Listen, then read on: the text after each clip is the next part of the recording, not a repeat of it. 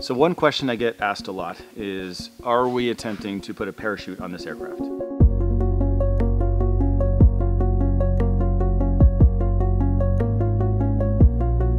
For multiple reasons, this aircraft has so many layers of redundancy, we don't feel the need for it. So first of all, in normal flight, it can glide just like a normal aircraft. If there's any engine out scenario, you still have enough battery power to potentially open the wings and do a vertical landing anywhere where there's a flat spot. So this is an improvement over both helicopters and fixed wing aircraft from a safety perspective.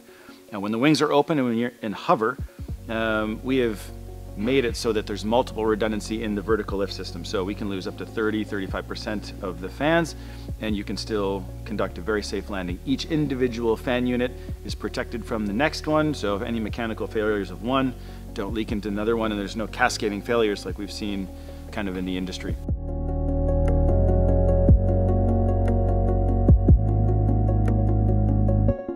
Yeah, we have talked about doing a parachute uh, on our demonstrator aircraft for, for safety enhancement, but some factors of our airplane are it's quite complicated to, to install. Right? And with the pusher prop at the back of our airplane and some of the nature of the, the, the surfaces, it becomes as complicated as it is to install.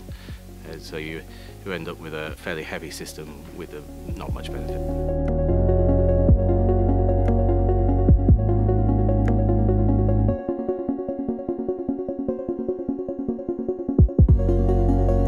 First of all, when we did design the airplane initially, we took a really hard look at the parachute. Everything's got pros and cons, and it's all about the safety. You want the maximum safety for the passengers. And the real issue uh, with a parachute is the ability to open low. So uh, there's that zone that you're high enough above the ground that the fall is going to hurt, but you're not high enough that the parachute can open and bring you down safely. So that's a real issue with parachutes. And our particular airplane, after all the analysis, we looked at the structural implications, the, the type of parachute you needed. We decided we've got enough redundancy built into the airplane. If you're flying along and the uh, engine were to fail, the main pusher engine, you now become a glider. So you glide like an ordinary airplane with a quite a good glide ratio.